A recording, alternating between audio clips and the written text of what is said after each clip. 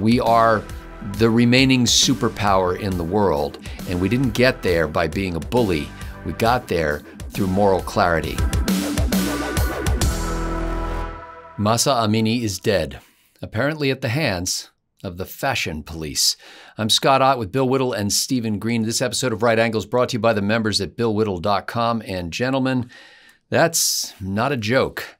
There are uh, police officers in Iran whose job it is to make sure that women are complying with the strict uh, regime of how they may dress.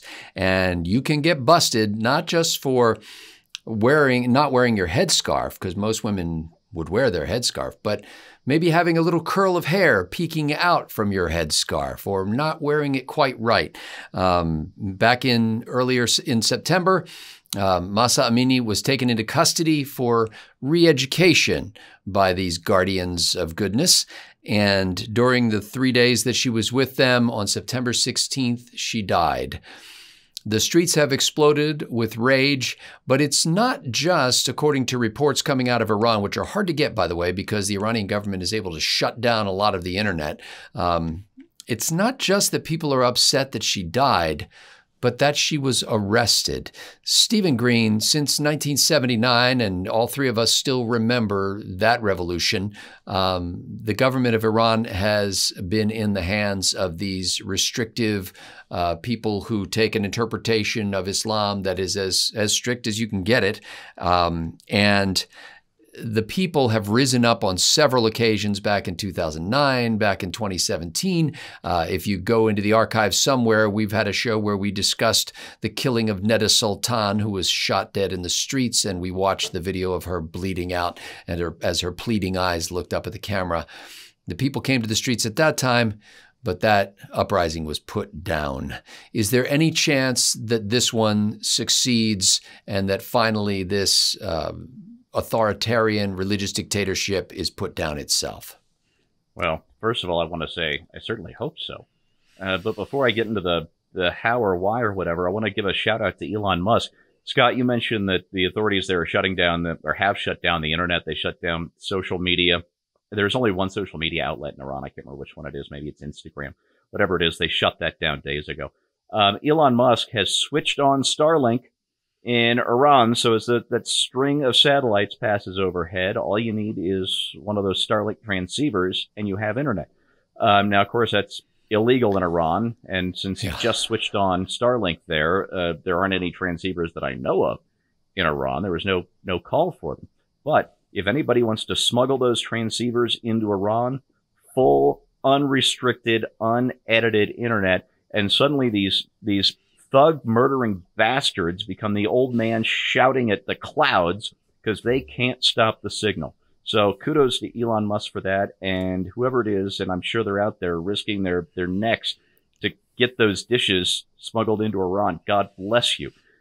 More like this, please. Um, you know, I don't know if something like this can, can topple a government like that, but what I do know is that Iran, a government like this, is unnatural. Uh, the Persian culture is one of the most ancient in the world. And when the Arab armies came in to impose Islam, what, uh, 1100, 1200 years ago, whenever it was, the, the Persians, the Iranians, as we call them now, had always looked down on, on the Arabs next door as kind of these, they're unsophisticated country bumpkin neighbors. And there's probably some reason for that. And there's is still a lot of that attitude, but Islam was forcibly imposed on on the people of Persia, and they retained a lot of their own ways, a lot of their own customs, and a lot of their own Zoroastrian beliefs. And so Islam in Iran is not like Islam anywhere else. They've got very much their own thing. And this really brutal, restrictive, closed off form of Islam is not a part of Iranian culture. It has been imposed on them. And for that reason, that gives me hope that the people are going to throw it back into the sea where it belongs. Bill Whittle, you've spoken before about um, how when the United States deals with another country, um, we've got to make a distinction between the government of that country and the people of that country, especially when you're talking about a, a nation that does not have uh, sort of democratic or republican processes or ideals when you're dealing with authoritarian states. Um, this makes it very difficult, actually, because on the one hand, you you know you can stand up as a Secretary of State or President of the United States and and say tough things about Iran, but you somehow have to make clear to the people of Iran that we're with you. Um, how do you think? If you were in a position to be influential in that right now, either at the State Department or in the White House, what is an appropriate approach to being able to foster this revolution, um, but stay within the, you know, essentially the bounds of Western civilization. I mean, we don't just go storming in every time somebody's people rise up. How do you handle that as uh, appropriately as a U.S. president, for example? I'd say something along lines of um, while it's neither our job nor is it morally appropriate for us to interfere in the internal affairs of every country on the earth based on the fact that we may disagree with them, the freedom loving people of America, including the American government, stand 100% behind the Iranian people in their fight against this tyrannical regime that is depriving them not only of the kind of rights that we consider to be American rights, but universal human rights. In fact, universal humanity. We want the people of Iran to know that the United States is morally behind them as much as we possibly can be, that they are on the side of goodness and light and freedom and truth, and that truth in the end will eventually overcome this kind of tyranny. Um, I pretty much would do it, I think. And you, you may say that, well, it's just posturing, doesn't really make a whole lot of difference made a whole lot of difference in Eastern Europe when when um, when Ronald Reagan did it. One of the one of the things that was most uh, inspirational to these dissident movements like Solidarity and stuff, which essentially is what corroded the Soviet Union. You know, we we we basically the, the U.S. and NATO put enough financial pressure on them to uh, completely weaken and, and and and and mess up their economy. But a lot of the, the fall of Soviet Union came in internally from internal dissident groups, and they will tell you uh, the ones that actually lived through this that the two things that heartened them the most was the first of all having a Catholic Pope. Uh, who was um, a Catholic pope, sorry, a Polish pope. All, all, most of the popes are Catholic, well, not all of them if you look at the history of popes. Uh, a, a, Polish pope gave, gave the Polish people a tremendous sense of spiritual authority that they had been, that they'd had beaten out of them for 40 or 50 years. But when uh, an American president says that this is an evil empire, when an American president says tear down this wall, uh, when, when the West makes a, a principled stand then America becomes what it's supposed to be and what it historically had been for people of oppressed countries. It was their champion. We're supposed to be the champions of freedom. And, and when you look at the debacle in Afghanistan and all the rest of it, and, and our allies rightfully say, we have no idea what America's foreign policy is going to be from week to week, let alone election to election. They're right our foreign policy is, is, is, should be the same as our domestic policy. We are we are the force of freedom in the world. The reason we're powerful is because we're free. We're not we're not free because we're powerful. We're powerful because we're free. And um, and these values are universal and timeless. They're the they're the essence of what this country was built upon. And America is here to represent those values in the world. And anybody who is being oppressed unjustly, we're on their side. And, and, and that's all you had to say. And if you did say that, you would certainly cause me a lot less embarrassment. Uh, during the, the previous incident you mentioned about the, the woman who was shot and killed during the uh, was Arab Spring, I guess. The Obama Barack Obama had just been elected president, and and there were enormous crowds of people protesting in the streets to bring down the one government that has been the most trouble, not just for the United States, but for the West. Virtually all of the soldiers that we lost in Iraq, and many of them in Afghanistan, but certainly in Iraq, died from IEVs that were IEDs that were either uh, designed by or built by or or constructed by or placed by Iranians.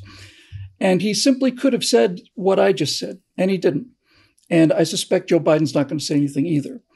Uh, so it's very difficult to uh, be a champion of freedom and to live in a country predicated on freedom and not have that country live up to not not its military obligation, its moral obligation uh, to be on the side of those oppressed people everywhere. And I think Bill really crystallized what I um, think about the situation here. What is what is called for is moral clarity. I'm not saying that the president of the United States has to make some long-winded speech about um, the issue, but what he does say must be clear. It must be clear who our friends are. It must be clear who are enemies of freedom.